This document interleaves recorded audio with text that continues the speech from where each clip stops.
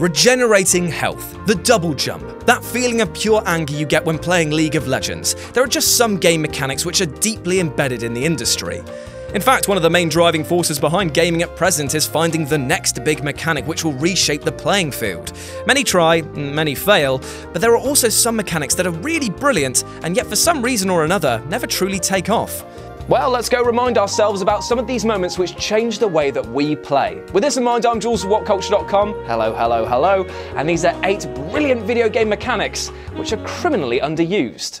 Number 8. Grappling hooks. Just Cause. Now, this might seem a little out there, but a lot of games could benefit from the use of a grappling hook. It's just one of the most fun ways to get around in a game. You need only look so far as Just Cause to see that it makes travelling in vast open worlds an absolute blast. Even in games that aren't open world, grappling hooks can make everything better.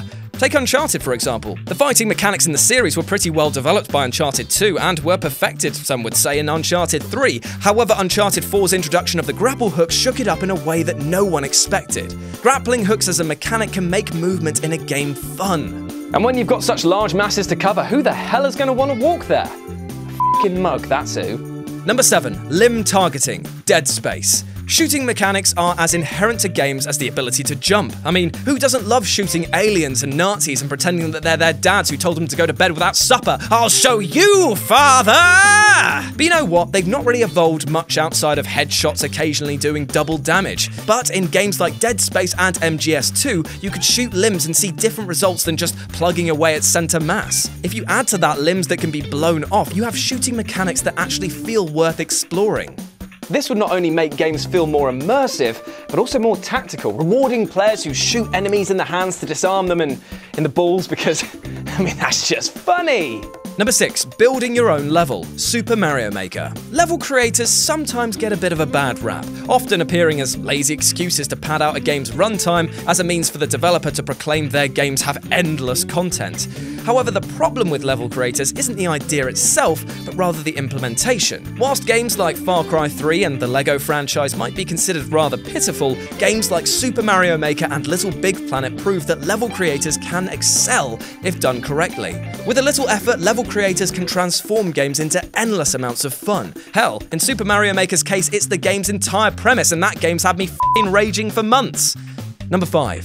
Physics and object manipulating weapons. Half-Life 2. The gravity gun in Half-Life 2 is like Tiny Peter wielding a machete. A weapon and a half. Not only did it afford for brilliantly hilarious moments in combat, but it exercised one of the best physics engines gaming had ever seen. Puzzles and killing with physics, sign me the chuff up. The mechanic has only pretty much been used in Half Life 2 and will never likely be seen again within the same franchise. So it's up to other developers to take the mechanic and run with it. It's such a simple and ingenious idea that it could be used to great effect if developers took their time with it. And it's just so much fun to launch giant saws at headcrabs and watch the majesty of Half Life 2's physics engine work. God bless you, Valve. Now go make more. Number 4. New Game Plus that actually adds something significant Dark Souls 2. Whilst New Game Plus is slowly becoming more prevalent, it's still not being used in the way it should be. And you know what? For all of its flaws, Dark Souls 2, you know, the game where all the enemies pivot, pivot, pivot, ah, Still shuddering about that one. It did certain things right, namely New Game Plus. Whereas most titles simply add New Game Plus and then up the difficulty, Dark Souls 2 switched things up and started messing around with new, tougher enemies. Playing the game felt completely different with new groupings as well as higher damage and health on all of them. On top of that, new items and rings appear, with bosses even dropping new stuff. Merchants have different items and even bosses can change with additional enemies. This mechanic essentially doubles playtime, and whilst New Game Plus is picking up in traction, hopefully more games will follow in Dark Souls 2's direction. Number 3. Destructible Environments now, I know that many of you will point out that a lot of games have some form of destruction available for those willing to shoot everything other than the enemies, but developers still aren't doing nearly enough with it. For all its flaws, Mercenaries 2 may be the best use of destructible environments going, as no game has even come close. Every single building can be torn down, meaning that you can actually destroy the entire region of Venezuela, leaving no infrastructure whatsoever, just like in real life. Satire! More games need to take advantage of this mechanic and put the improved graphics of this generation to good use. If there's going to be thousands of assets on screen at once, then let us blow them the f up. Come on, Crackdown 3, don't let me down on this one. Number 2. Climbable and more dynamic boss battles Shadow of the Colossus. Climbing on bosses is easily one of the most badass gaming mechanics that have been implemented in recent memory. Pretty much the entirety of Shadow of the Colossus was sold on the simple fact that you could clamber around these magnificent monsters while stabbing them in the fucking brain.